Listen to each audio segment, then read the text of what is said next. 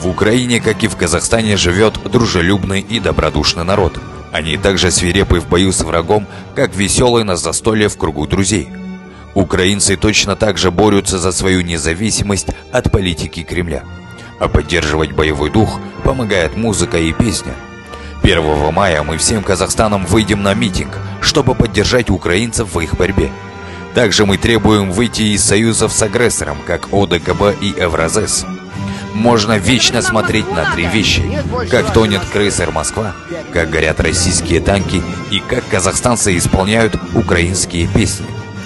Приходите на митинг в указанных местах 1 мая в 12.00. Берите с собой микрофоны, колонки и музыкальные инструменты.